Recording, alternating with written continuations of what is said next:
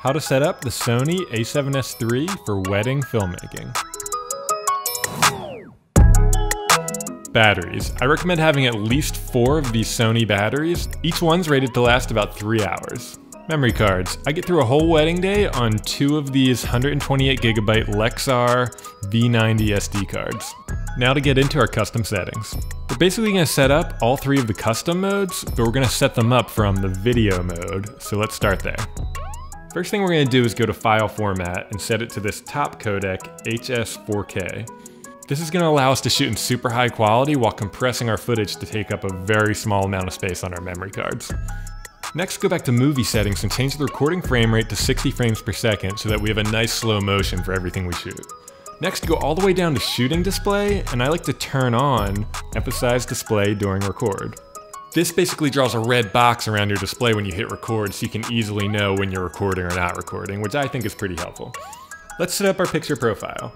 For this first mode, we're going to use PP8, and the only things we're going to adjust in there is turn our saturation down to negative 3, and I turn the detail down to negative 7, which I think takes out the cheap sharpness that these cameras tend to have by default. And before we save this as our first custom setting, I'm just going to set the ISO to its lowest setting, and I'm going to set our shutter speed to 125. Now go to white balance and set to daylight because this is going to be our main outdoor custom mode. Now go to camera set memory, make sure you're in number one, and then hit OK. So that's our custom mode number one, which I like to use when I'm outside in broad daylight so I can maximize the dynamic range and get the best colors and details out of the footage. Now let's set up mode number two. The only thing we're going to adjust here is back in movie settings, we'll go to frame rate and set it to 120.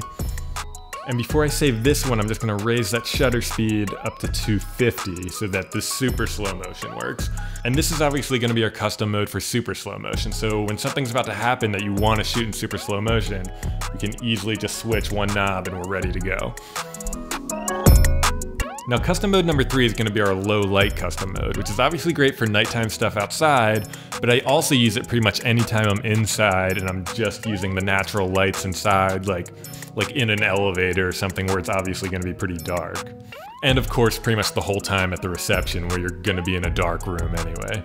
So let's go ahead and set our frame rate back to 60.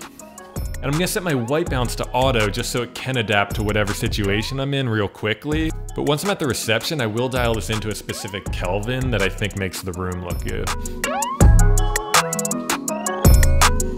Now for a low light picture profile, I'm gonna go to PP6, and right away I'm gonna change our gamma to HLG3, which doesn't have as wide of a dynamic range as S-Log3, but I think the dynamic range that it has is better for the darker parts of the image. And I actually get better results if I turn the black level down to negative 3. This cleans up any noise that would be there even more.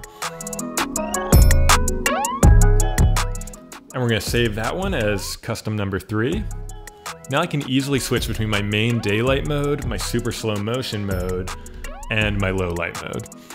One more hack I have is that I leave the regular movie mode as kind of a fourth custom mode. And here I'll leave the file format in SI 4K, which is the actual highest possible quality this camera can shoot in.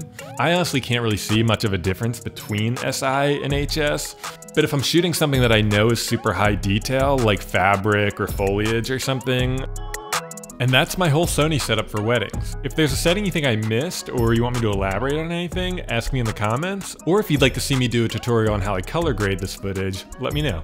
Otherwise, rate and subscribe.